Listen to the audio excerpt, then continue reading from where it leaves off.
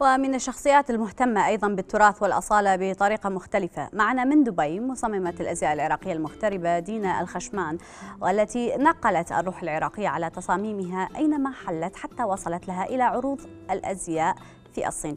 أهلا وسهلا بك دينا يعني سعيدة جدا إنه أستضيفك. يعني شنو سبب اختيارك لتصميم الأزياء التراثية العربية وخاصة العبايات والبيشتات البغدادية؟ حبيبتي أهلا وسهلا بك واشكر قناة دجلة الفضائية المساهمة هذه الجميلة ودعمها للعراقيين اللي عايشين خارج القطر. صراحة أني من اختاريت الملابس التاريخية التراثية أني دائما أعشقها يعني من من كنت صغيرة.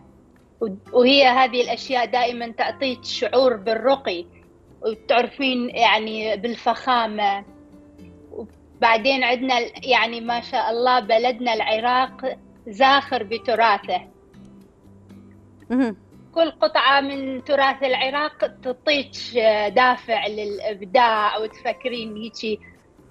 يعني كل قطعة من تاريخنا قطعة فنية. عندك بوابة عشتار الملوية أسد بابل جنائن المعلقة التراتشي وسبع عيون والخزامة. يعني كل هاي الأشياء تعطيك دافع أن تعشقين هذا التراث الجميل.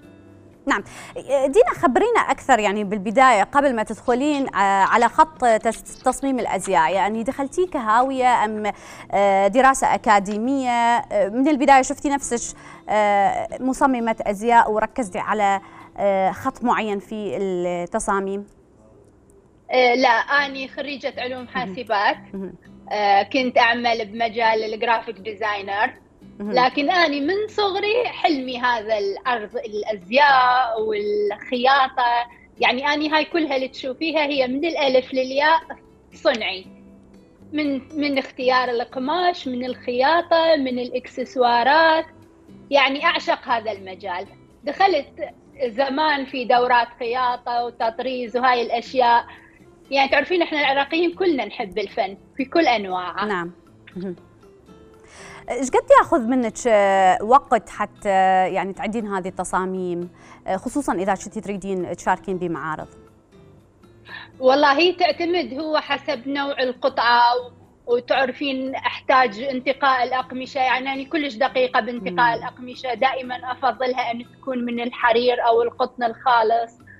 آه عندك البشت العراقي اللي أنا مسميته بشت ليالي بغدادية.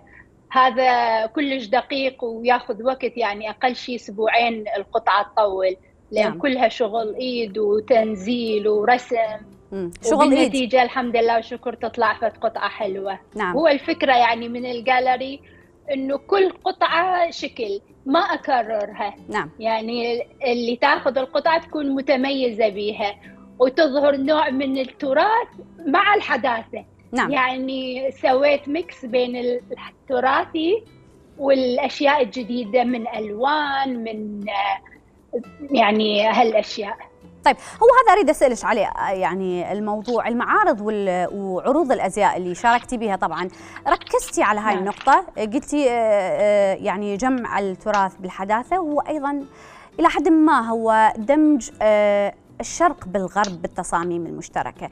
يعني شفتي أكو تناغم عفوا تناغم بهذا الدمج. وش قد تتوقعين إنه أكو مقبولية للأزياء الشرقية التراثية في المجتمعات الغربية؟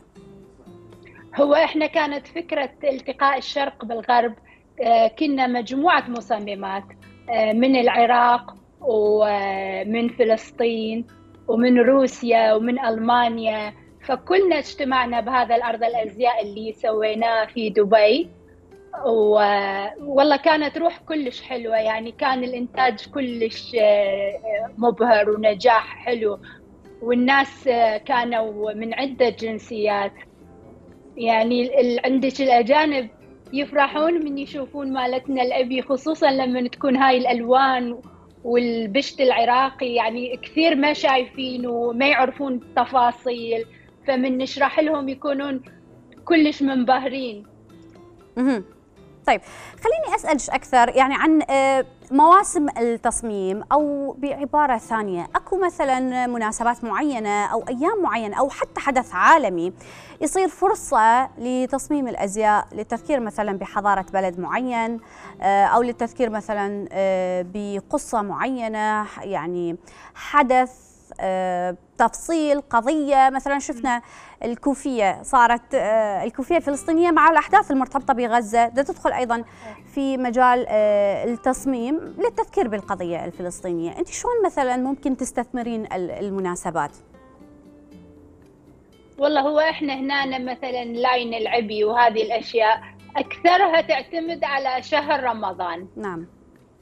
لأن هنا مثلا تشوفين آه، بالإمارات عدة جاليات موجودة. الأكثرية تفضل تلبس عبي وبشتات في شهر رمضان. سواء كانوا آه، عرب يعني العرب من كل الجنسيات. حتى الأجانب يعجبهم من يطلعون أبسط طلعات مطاعم وهيك شيء هم يلبسون العبي وشي لأن شهر رمضان يتسم بالحشمة. فالأغلبية يستمتعون من يلبسون العبايه نعم. فلهذا عندنا شهر رمضان هو أكبر حدث بالنسبة لأغلب اللي يشتغلون بالعبي لأن يكون عليه أكثر طلب.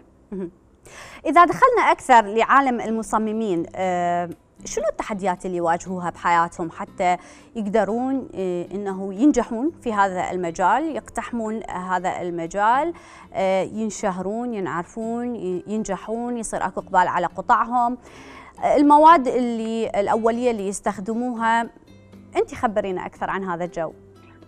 هو هو أهم شيء هذا انتقاء الخامات يعني من أصعب الأشياء إنه تدورين شيء يصير متميز أه تغيرين بيه ما آه، مشيوفه هواية.